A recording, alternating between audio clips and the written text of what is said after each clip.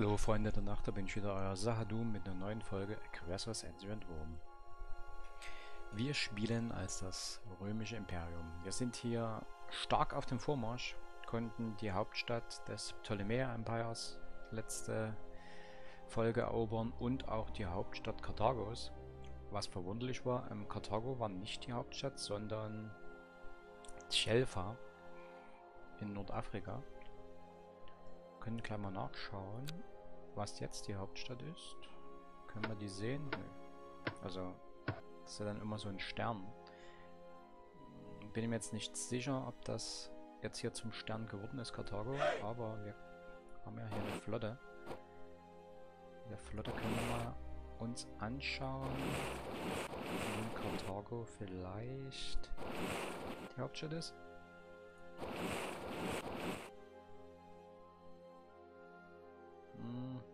Wir haben keine Sicht richtig drauf.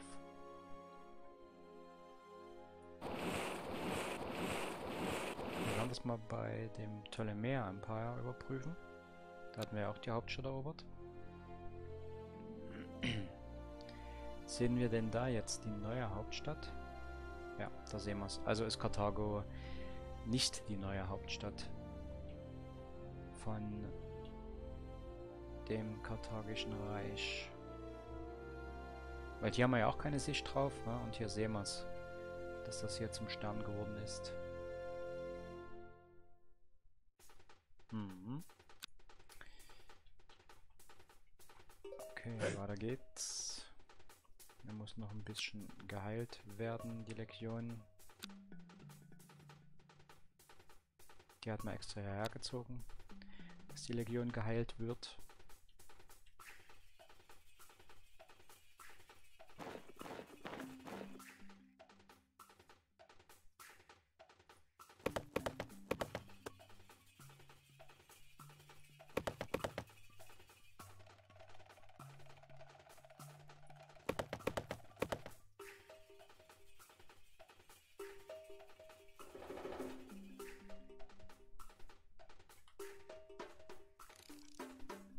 Angeschlagene Flotte muss repariert werden.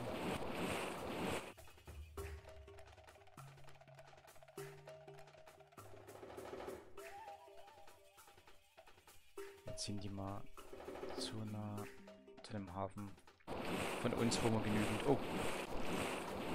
Das ist eine karthagische Flotte.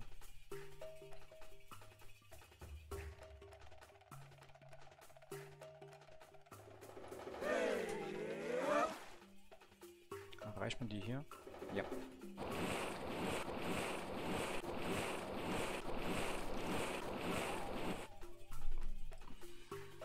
Macht's mal gut mit eurem kleinen Schiff. Ja, so ändern sich die Zeiten. Ja. Könnt ihr euch noch am Anfang des Let's Plays erinnern?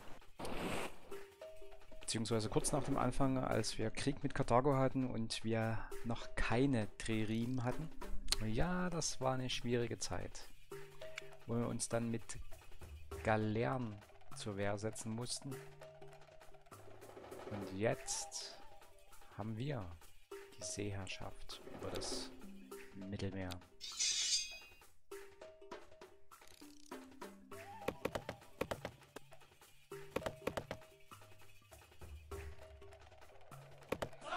Eine Siedleinheit, die wir angreifen.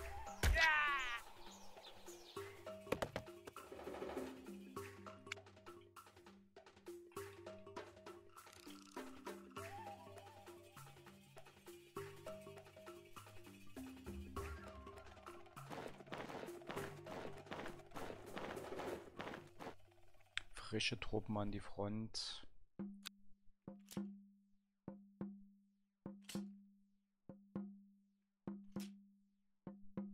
Ihr habt mir gesagt, wir tauschen das, genau.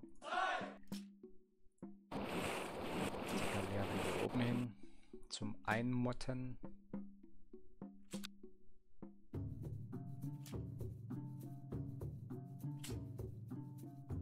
Lugdunum wollen wir angreifen Aussichten.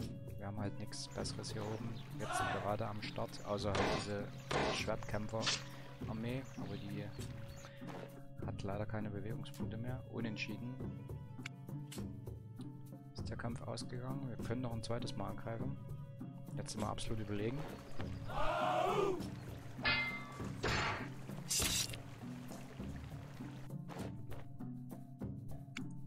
Die Stadt konnte erobert werden. Wir greifen direkt die Stadt an. Und nicht die Armee, die daneben steht.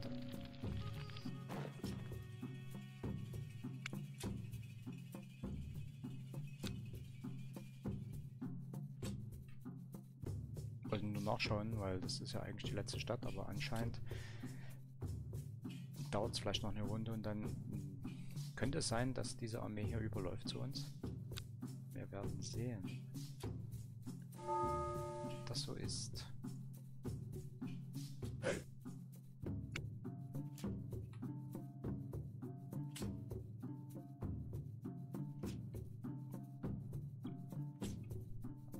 Die Reiterarmee schick mal in den Westen. Im Osten haben wir genügend Armeen im Moment zur Verfügung und brauchen jetzt auch nicht unbedingt noch so eine Reiterarmee, weil die Wege werden hier relativ kürzer.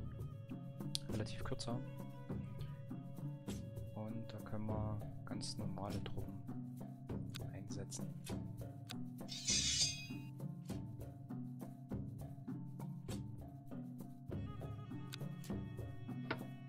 Was wir auch nochmal machen können, die Geburtenrate hochsetzen. Das läuft richtig gut mit Nahrung als auch mit Gold.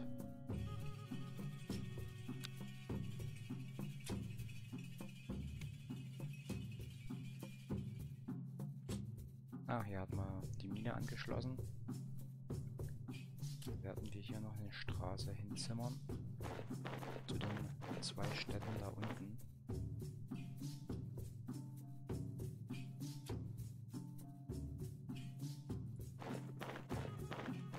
Die Legion muss ebenso an die Front geschickt werden.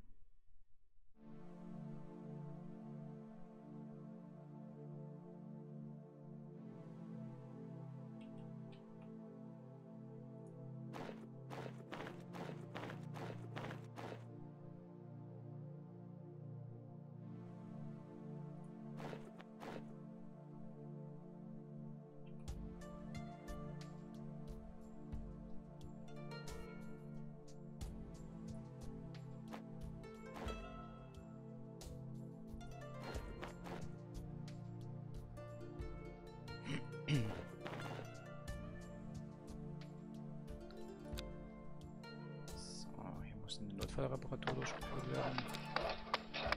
Die Stadt muss ganz normal repariert werden. Wir hatten ja gesagt, erstmal auf die Städte konzentrieren und dann die Gebäude und Minen.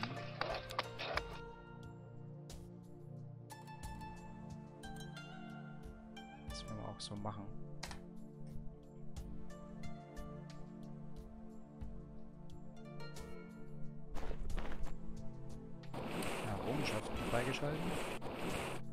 Leute, ich glaube, es könnte sein, dass wir gerade eben gewonnen haben. Wir waren ja bei 99% Militärüberlegenheit.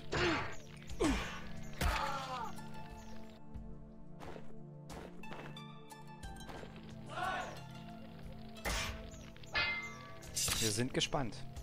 Wir sehen jetzt halt noch Athen, wie die RJ platt machen. Die sehen keinen Stich gegen die Athener.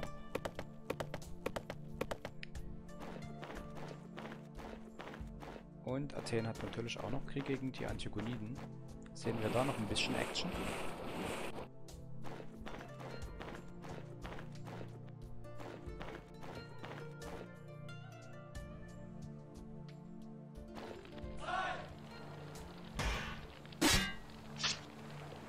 Und da sehen wir die Action. Die Antikoniden kommen durch mit zwei Hoplitenarmeen. Das spielt uns natürlich auch wunderbar in die Karten, dass die Antigoniden anscheinend doch noch ein ernsthafter Gegner für die Athener sind.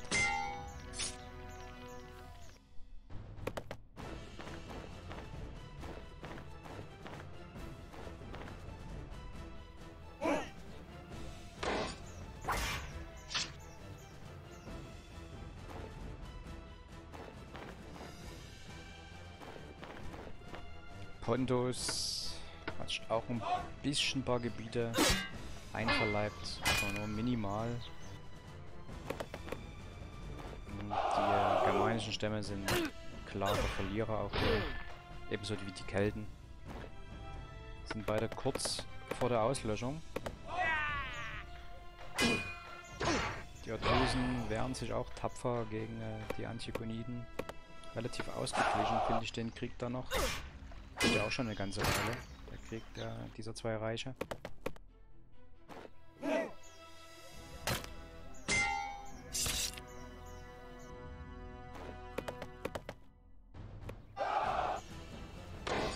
Können Sie die Stadt erobern? Hm, sieht nicht so aus.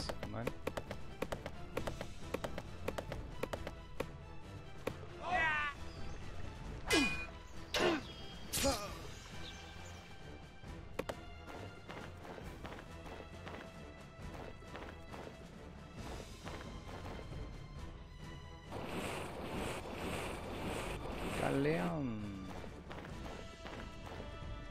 Etrusische Königreich hat Galeeren.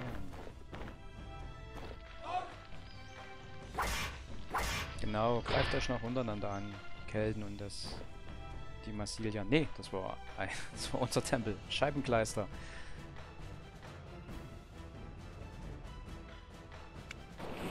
Da haben wir einen Tempel verloren. Aber... Hm, aber wir haben das Spiel gewonnen. Ja, Game is finished. Wir haben gewonnen durch die militärische Überlegenheit. Sehr schön. Genial. Jetzt wissen wir es, ne? Wir hatten uns ja immer gefragt. Ja, das Ptolemäer Empire war immer so, oder kurz vor 80 Prozent. Dann dachte man, ja, vielleicht reichen ja schon 80 Prozent, dann müssen wir irgendwas unternehmen, dass sie halt nicht darauf kommen. Und deshalb haben wir den Ptolemäern dann auch den Krieg erklärt.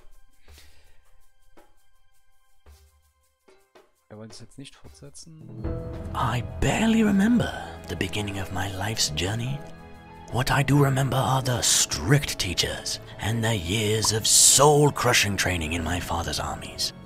Eventually, I got my own legion to command and gained real war experience. On our very first campaign, we managed to defeat a rebellious tribe. But then our fortune changed, and another uprising in a neighboring province shook my newly gained self confidence to the core. I got more and more experience, and finally, our campaign was a success. Soon I accepted the Emperor's crown from the hands of my father and took charge of the whole of my country. After years of cruel wars, I defeated my enemies and strengthened both the might and the self confidence of my people. Finally, we now stand at a new dawn of peace and prosperity, and I have become immortal.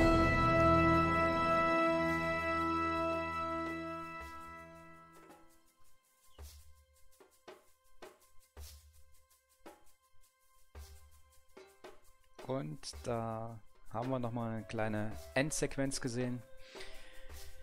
Victory Condition completed. Ja, militärische Überlegenheit. Uns wird gratuliert. Wir haben die, wir sind die stärkste Nation in der Geschichte. Keine andere Zivilisation kann sich mit unseren Armeen messen. Man hat das jetzt in den letzten Folgen dann doch schon gemerkt. Ne? Der Überlegenheit unserer Armeen ist einfach zu krass. Man bekommt ja dann, wenn man viele Siege gegen eine Nation hat, dann auch noch einen extra ähm, Bonus gegen diese Nation. Und der war jetzt gegen Karthago immens und auch mittlerweile gegen äh, das Ptolemäer Empire. Das Ptolemäer Empire konnte uns noch mh, etwas länger standhalten als Karthago. Aber dann irgendwann ist das halt auch zusammengebrochen. Oh, jetzt müssen wir uns mal anschauen. Ist das hier tatsächlich sowas wie ähm, bei den älteren Zivilisationsteilen? Da gab es dann auch nochmal so einen, ja, wie will man es nennen, einen Rückblick, den man sich dann anschauen konnte. Speed 1 ist vielleicht ein bisschen zu langsam, wir machen mal die 3. Die Statistiken wollen wir uns jetzt mal nie anschauen. Wir wollen uns das mal tatsächlich langsam anschauen. Läuft das jetzt schon? Ja, es läuft. Wir können es auf Stufe 5 erhöhen. Da können wir nochmal rekapitulieren, wie das alles so am Anfang lief. Halt! Ach, Scheibengleis. Jetzt habe ich das abgebrochen. Verdammte Hage. Ja gut. Also... Dann rekapitulieren wir das selbst halt nochmal. Wenn ich mich recht entsinne, war das halt so, dass wir hier mit Epiros erstmal im Krieg lagen, die zurückschlagen konnten, dann oben auch noch Krieg hatten gegen Massilia, da auch langsam Boden gut machen konnten. Ein, zwei freie Städte waren ja oben noch dabei gewesen, die wir erobern, die, die wir erobert hatten. Dann erklärt uns irgendwann Karthago den Krieg und das war dann äh, schon ein kritischer Zeitpunkt, da wir überhaupt noch nicht allzu stark waren und wir nicht die Seeherrschaft hatten. Das war ein riesengroßes Problem für uns am Anfang. Karthago hatte halt schon die verbesserte Technologie, die verbesserten Einheiten, die Tririmen und wir hatten halt leider nur Galeeren. Und die sind... Nein, wir hatten noch nicht mal Galeeren, genau, stimmt. Wir hatten noch nicht mal Galeeren. Die äh, Karthager hatten Galeeren. Ja, und die sind halt haushoch überlegen, diesen normalen Schiffen. Dann später hatten die Tririm. Und wir hatten halt auch noch keine Tririm, sondern nur Galeeren. Und da hat man versucht mit einer Galeerenflotte, ich weiß nicht, sechs, sieben Schiffe waren das, sechs, sieben Flotten, ähm, die Seeherrschaft schon an uns zu reißen. Das wurde aber zunichte gemacht. Wir verloren die Seeschlacht gegen Karthago und hatten dann halt hier ein Problem auf Sizilien uns da zu halten.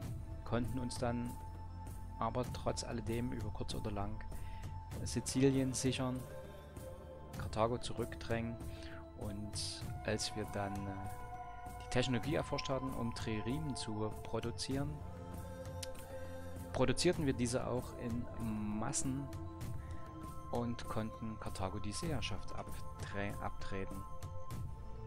Ja, Danach ging es gegen Marsilia. Dann gab es hier...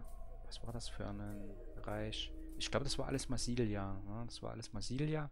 Die konnten wir zurückdrängen. Und die galizischen Stämme waren hier auf der Iberischen Halbinsel vertreten. Die konnten wir auch so langsam aber sicher zurückdrängen. Das Problem war dann,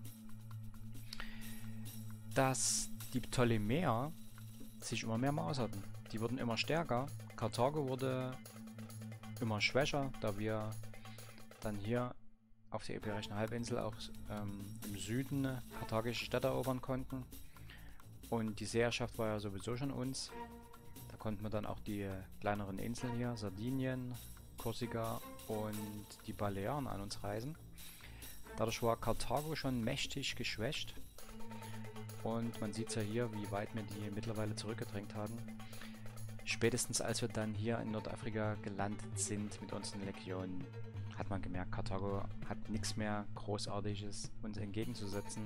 Die Armeen kamen nur noch tröpfelweise, die sie uns entgegenschicken konnten. Das Hauptproblem war dann das Ptolemäische Empire. Die hatten nämlich die Seleukiden komplett vernichtet, Kleinasien unter ihrer Kontrolle, standen dann kurz vor 80% Winning Conditions, wo wir dann schon ein bisschen ja, Angst hatten, dass vielleicht ab 80% schon der Sieg da ist, aber jetzt mittlerweile wissen wir es ja, bei 100%, wenn man 100% eins dieser Siegpunkte hier erreicht hat, dann hat man gewonnen. Und wir haben das halt mit ähm, dem Militärsieg, den man hier jetzt leider nicht mehr sieht, geschafft, 100% zu erreichen. Und da hatten wir uns dann gesagt, ja, da sollten wir hm, doch mal noch eine Invasion des Ptolemäer Empires starten. Was wir dann auch getan hatten. Ich glaube 5, 6, 7 Armeen dann rüber geschickt, angelandet hier äh, in Nordafrika und konnten dann einen Brückenkopf schlagen. Hatten dann einen kleinen Rückschlag mal, da eine Stadt übergelaufen war wieder zum Gegner, aber konnten das dann festigen. Trotz heftigen heftiger Gegenwehr des Ptolemäer Empires. Also die standen noch ordentlich im Saft und konnten hier eine Armee nach der anderen gegen unseren Brückenkopf schicken. Hatten es halt kurzfristig auch fast geschafft, uns zurückzudrängen. Tatsächlich, ja. Gerade wo diese Armee dann gefallen war, das war ein kritischer Zeitpunkt, aber wir konnten uns nochmal konsolidieren und spätestens dann, als die ersten Nachschublegionen und Armeen aus dem Heimatland ähm, nach Nordafrika kamen, konnten wir hier die Wende tatsächlich ähm, noch bringen. Also, ja, was heißt die Wende? Wir hatten ja hier uns schon wieder stabilisiert, aber mit den neuen Nachschublegionen konnten wir dann halt einfach den Sieg in Nordafrika festigen und als wir dann hier kurz vor der Hauptstadt, das war ja zeitgleich gewesen sogar, ich glaube sogar, es war in der letzten Folge, ja, in der letzten Folge war das, standen wir halt zeitgleich vor der Hauptstadt des Ptolemäer Empires und vor der Hauptstadt Karthagos, was kurioserweise nicht Karthago war, die Hauptstadt, sondern hier Chelfa in Numidien, Numidia, ja, jedenfalls hier oben in Nordafrika und konnten diese beiden Hauptstädte erobern und dann waren wir bei 99% Winning Conditions, äh, Militärsieg. Und das konnten wir dann, ja, diese Runde jetzt beenden. Ich bin happy. Wir haben das Let's Play beendet mit einem, ja, grandiosen Sieg und uns kann wirklich niemand mehr stoppen. Ja. Das Ptolemäer Empire war nochmal ein ebenbürtiger Gegner, aber jetzt hier auch Athen, klar, die haben ja einiges an Einheiten zusammengezogen, wenn man sich das hier so anschaut aber die können unseren Legionen, unseren Armeen nichts mehr entgegensetzen. Wir werden jetzt, oder wir würden jetzt halt noch die Reste des Keltenreichs übernehmen, dann auf die zwei Legionen hier unten noch warten und dann mit fünf bzw. sechs Armeen Athen den Krieg erklären.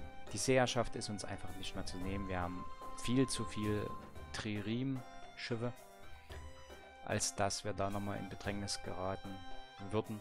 Die Ptolemäer ja, können uns hier auch nichts mehr entgegensetzen, man merkt das. Ne? Sie haben ja nichts mehr, was sie uns entgegenwerfen können. Es kommt zwar vereinzelt noch eine Armee, aber im Großen und Ganzen ist das schon gut so und es macht auch wenig Sinn, jetzt die anderen Winning Conditions da noch einzuspielen, da wir einfach absolut überlegen sind. Es war ein schönes Let's Play, Leute. Es hat mir richtig viel Spaß gemacht, das Game hier zu spielen mit euch zusammen. Und ich hoffe, ich konnte euch auch ein bisschen Freude bereiten mit diesem Let's Play. Bis dahin, euer Sahadum und ich hoffe, wir sehen uns vielleicht in einem meiner anderen Let's Plays. Lasst, lasst ein Däumchen da, wenn es euch gefallen hat. Abonniert meinen Kanal, das wäre nett. Und ansonsten, bis dahin, Freunde der Nacht. Bye bye, euer Sahadum.